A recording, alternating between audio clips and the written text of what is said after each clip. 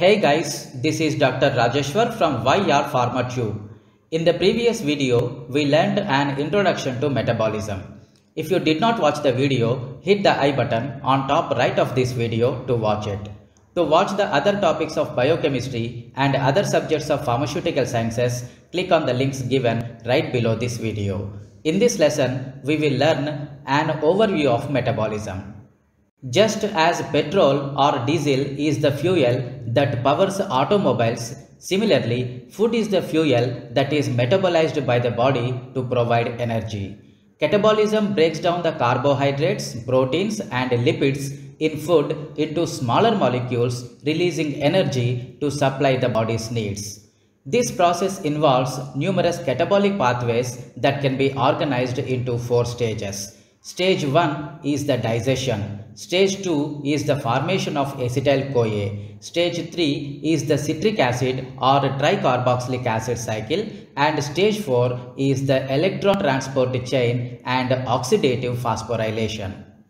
Stage 1 Digestion Digestion is the biochemical process by which food molecules through hydrolysis are broken down into simpler chemical units that can be used by cells for their metabolic needs. Simply, digestion is the process of breakdown of food material into small molecules. It entails the physical grinding, softening, and mixing of food as well as enzyme catalyzed hydrolysis of carbohydrates, proteins, and fats. Digestion begins in the mouth, continues into the stomach, and concludes in the small intestines. The hydrolysis of carbohydrates to monosaccharides begins with the amylase enzymes in the saliva and continues in the small intestines. Protein digestion begins in the stomach where acid denatures the protein and the protease pepsin begins to cleave the protein backbone into smaller polypeptides and amino acids. Digestion continues in the small intestines where trypsin and chymotrypsin further cleave the protein backbone to form amino acids. Triacyl glycerols, the most common lipids, are first emulsified by bile acid secreted by the liver and then hydrolyzed to glycerol and fatty acids by lipase enzyme in the small intestines. Once these small molecules that is glucose, amino acids, glycerol or fatty acids are formed during digestion, they are each absorbed through the intestinal wall into the bloodstream and transported to other cells in the body. Some substances such as cellulose are not metabolized as they travel through the digestive tract.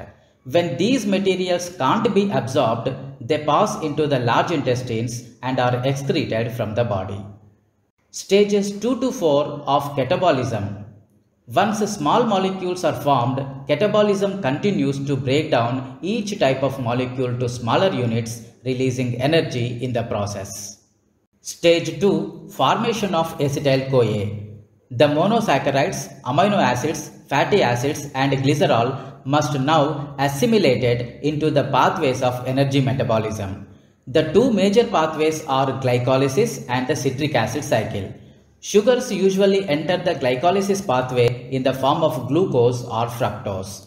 They are eventually converted to acetyl CoA, which is a form that can be completely oxidized in the citric acid cycle. Amino groups are removed from the amino acids and the remaining carbon skeletons enter the catabolic processes at many steps.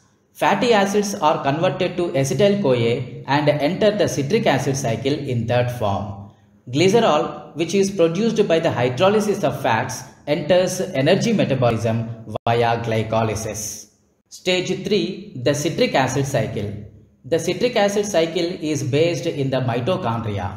In this biochemical cycle, the acetyl groups of acetyl CoA are oxidized to carbon dioxide.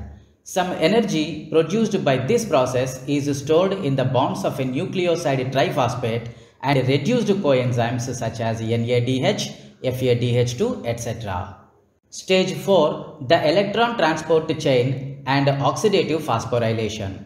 Within the mitochondria, the electron transport chain and oxidative phosphorylation produce ATP that is adenosine triphosphate, the primary energy carrying molecule in metabolic pathways. Oxygen combines with hydrogen ions and electrons from the reduced coenzymes to form water. The result of catabolism is that biomolecules are converted to carbon dioxide and water and energy is produced and stored in ATP molecules. This is the list of references followed for the lesson.